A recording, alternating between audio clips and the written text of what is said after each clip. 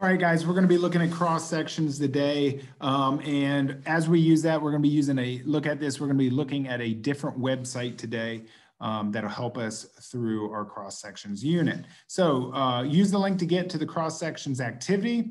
You'll draw the cross section that is parallel to the base and then draw the cross section that is perpendicular to the base. So remember parallel and perpendicular is what we're going to be drawing. And after you will write the name of the two-dimensional shape that you see. So the interactive webs, uh, website that it, you're going to get brought to through the link looks like this. It looks a little bit confusing. Okay, so you are going to have to identify what shape we are working with. So in this case, we have a, um, a prism. We know it's a triangular prism because the sides are rectangular, which make it a prism, and the top and the base, the two bases there are triangles. So I'm going to go back to the interactive website and I am going to change the shape to a prism.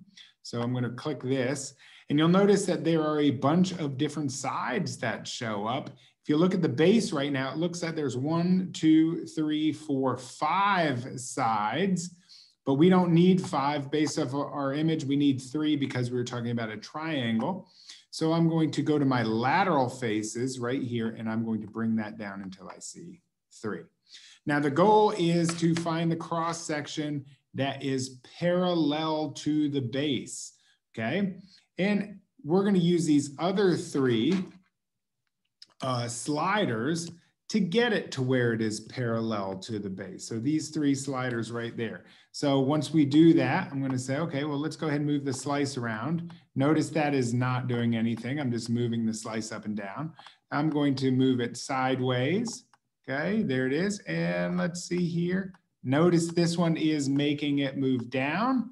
And once we get in here, you can actually see that it looks like it is approximately parallel to the base, okay? So right in there. So what you should notice is if it is parallel, I'll put the parallel one right here. What I can draw is a triangle. So I'm gonna go ahead and draw that in. I'm gonna say, okay, it looks like we have a triangle. If we cut it straight across parallel to the base, we get a triangle. Now the next thing I'm gonna do is go ahead and move it to perpendicular. And perpendicular means that it is straight up and down to the base, forming a 90 degree angle with the base. And I'm gonna try my best to get there. And notice, once again, I am gonna have to rotate this thing, okay? And as I move it, I wanna get it as close to that as possible. Check it out. It looks like that might be perpendicular. It looks pretty good right? And I can move that piece around. And as I move it around, you'll notice that there is a type of shape that is showing up every single time, no matter how I move it, perpendicular to the base, I should be looking at a rectangle. Okay, so I'm going to draw that in there. If I draw perpendicular to the base, it looks like I'm getting a shape like this, and it is a rectangle. Now, you will be uh, doing this activity, you'll be looking at pyramids. Now remember, pyramids have triangular sides to the base and meet at an apex. Uh, we'll be looking at cylinders. There's your cone.